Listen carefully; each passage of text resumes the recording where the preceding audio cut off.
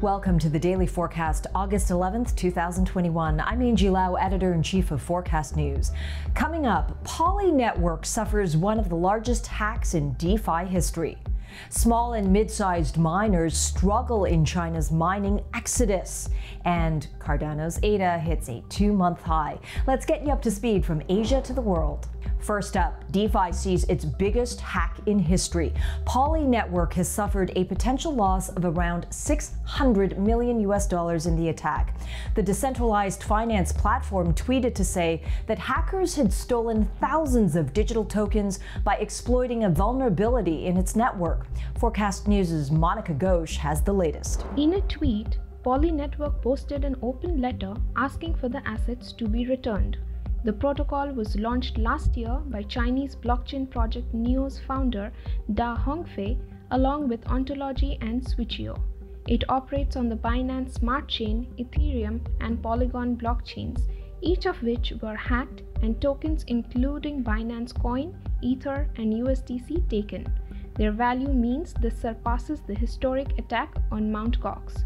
But with China based blockchain security company Slowmist hot on their heels, one expert told Forkast News that it should be easy to chase the hackers. Everybody can work together, you know, to, to find out who did this. I I, I think that that kind of pressure is a is a good good part of the public chain.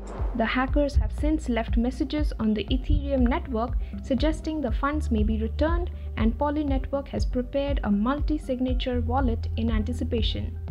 For Forkast News, I'm Monica Ghosh. Meanwhile, we are learning more about the impact of Beijing's clampdown on miners. As crypto miners work on plans to exit the country following new policy direction from the top, many more are struggling. While bigger miners like Hong Kong headquartered Poolin had the resources to move operations out of China quickly, Forkast News has learned small and mid sized operations aren't faring as well. Forkast News correspondent Timmy Shen has this exclusive from Taipei, Taiwan. While big miners like Poolin were able to quickly relocate executives to seek deals in places which have proved very welcoming to their energy needs, such as Texas, the situation is much harder for smaller players.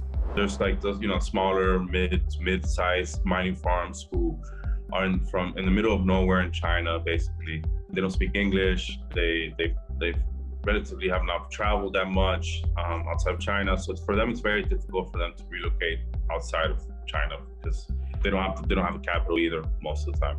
Tiradores says it will take some time to establish the full extent of the exodus, as many smaller miners have sold their machines or put them in storage while they consider their options in terms of regulation and electricity prices. For Forkast News, I'm Timmy Shen, Taipei, Taiwan. And finally, continued big moves for Cardano. Cardano's ADA has hit a two month high and a lot of interest during Asia trading hours.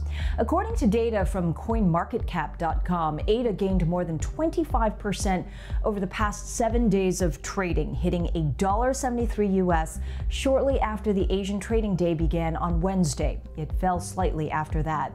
A few things that coincide with the run. First, Cardano's Alonzo Purple upgrade, which started onboarding users to its testnet over the weekend.